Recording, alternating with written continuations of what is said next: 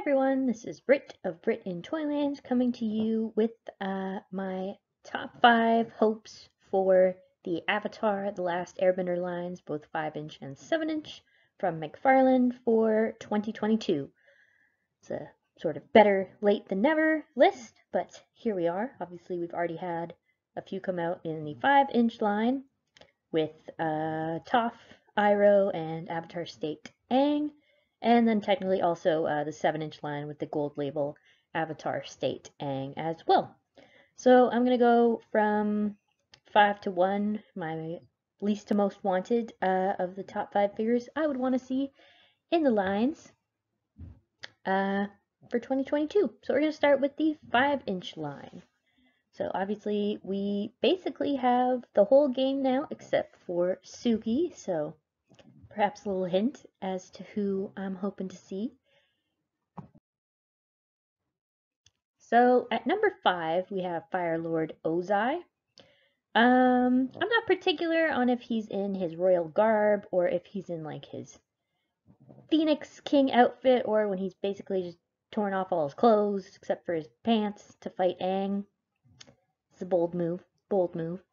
Uh, but yeah, it's good, it'd be good to have, you know, the big bad, the main villain of Avatar The Last Airbender in the line sooner rather than later. Uh, whatever variation that might be. So at number five, I have Fire Lord Ozai for the five inch line. At number four, I have Ty Lee, of course, one of Ozai's angels. Uh, obviously, again, one of the major secondary characters for Avatar The Last Airbenders, and this would be the first time we have a Ty Lee as an action figure uh, in any of the lines so far. McFarlane ended up being the first to come out with the uh, very first Iroh action figure, so let's do the same with Ty Lee. At number three, we have Azula. Sticking with the Fire Nation theme here. Uh, Azula, of course, primary antagonist, overall complex, amazing character.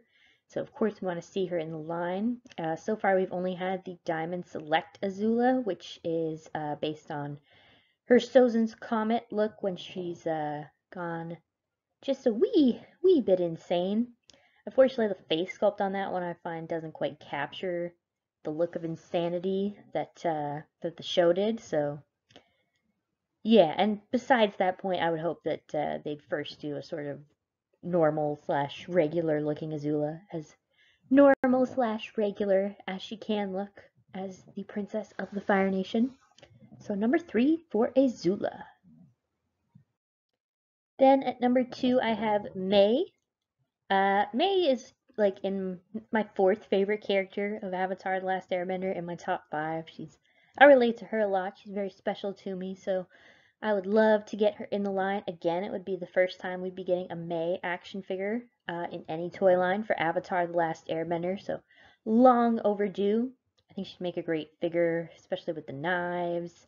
And, uh, you know, I think that would be one where you might want to break out some soft goods, just given the, uh, the width of her sleeves and how, like, long they drape down. It might be a good time to include some soft goods. I don't know how much of a penchant McFarlane has for using soft goods when necessary. I don't think very often, but make an exception for Mai, please.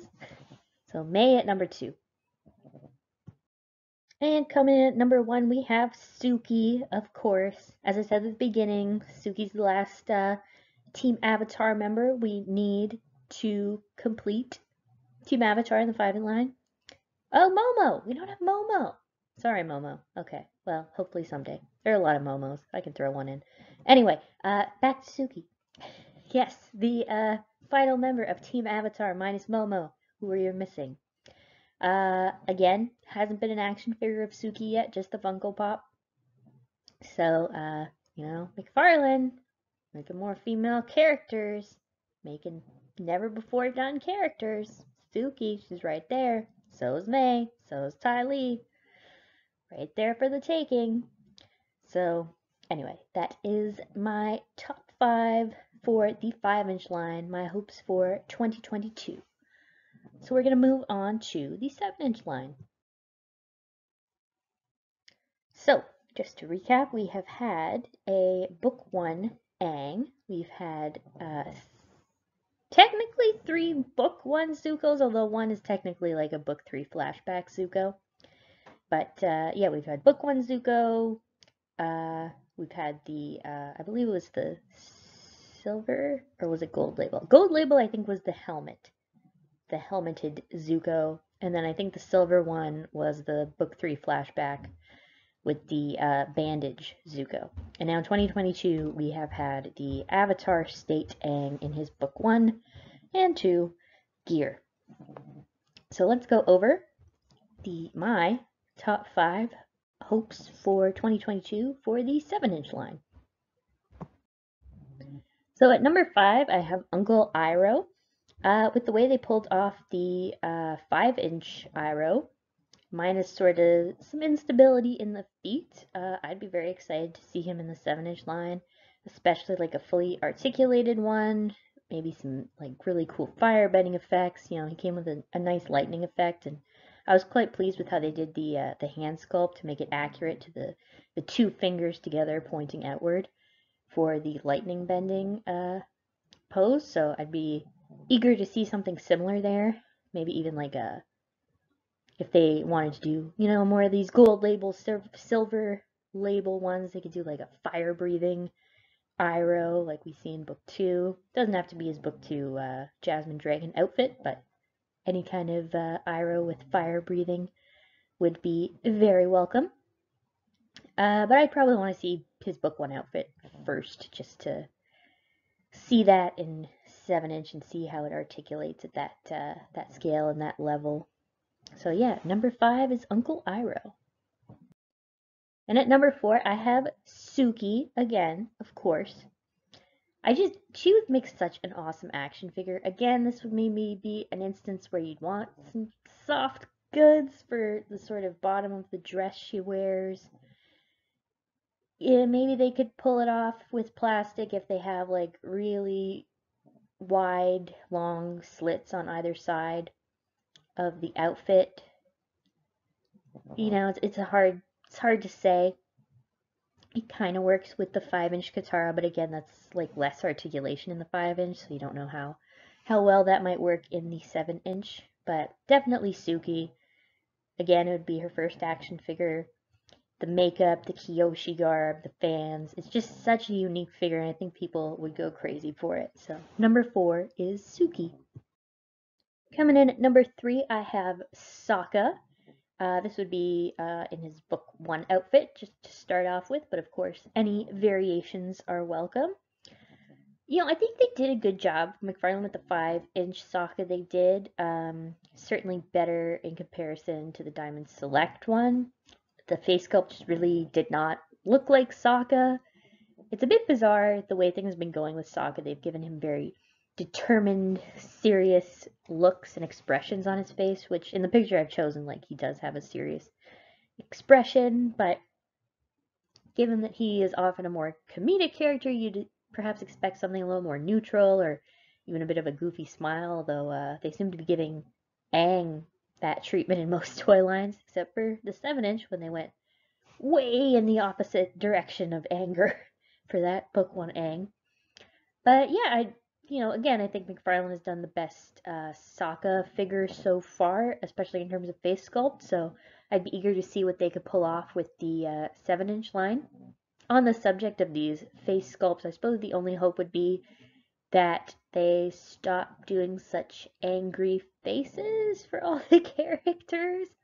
Like Zuko, it kind of makes more sense, and like you know, Avatar State Aang, okay, it was maybe still a little extreme. It's more of a determined stoic expression, but hopefully they uh, they make those faces a little more neutral, a little more happy. I don't know if it's because it's seven inch and they feel like adult collectors are gonna want angry faces for all the characters, but I don't know. Either way, Sokka at number three. And at number two, I have Toph Beifong, of course, greatest earthbender in the world. Uh, again, the five inch Toph that they put out, uh, even with its limited articulation, I thought was fantastic. The face was great. Uh, even just the earth bending effect that they put with it and the posing you can do with their arms and the fist. so so good. Uh, I'm really eager to see what they can do with the fully articulated seven inch version of Toph. Uh, I think they could do really amazing things with it. So definitely high on my list and hoping to see our Toph Beifong hit the seven inch line in as many forms as possible. Runaway, Blind Bandit, with or without the Earth Rumble Six belt, all of the above. All of the above. And at number one, of course, it's not a surprise, it's Katara.